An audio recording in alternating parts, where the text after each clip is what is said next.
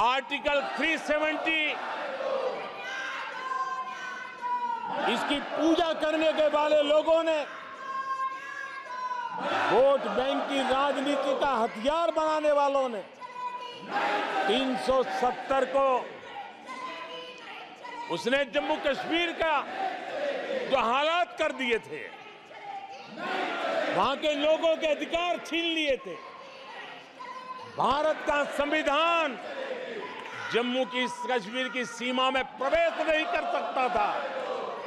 और यहाँ संविधान सर पे रख करके नाचने वाले लोग संविधान को जम्मू कश्मीर में लागू करने का हौसला नहीं रखते।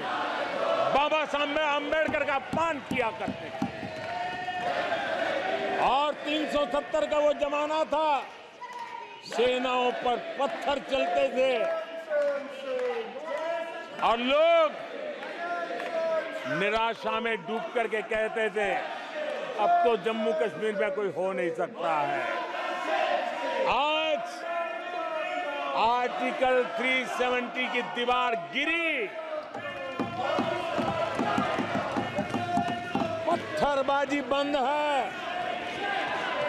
लोकतंत्र मज़बूत है और लोग बढ़ चढ़ करके भारत के संविधान में भरोसा करते हुए, भारत के तिरंगे झंडे पर भरोसा करते हुए, भारत के लोकतंत्र में भरोसा करते हुए बढ़ चढ़ कर करके मतदान करने के लिए आगे आ रहे हैं।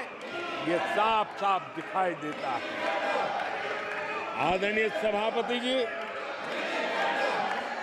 140 करोड़ देशवासियों में ये विश्वास पैदा होना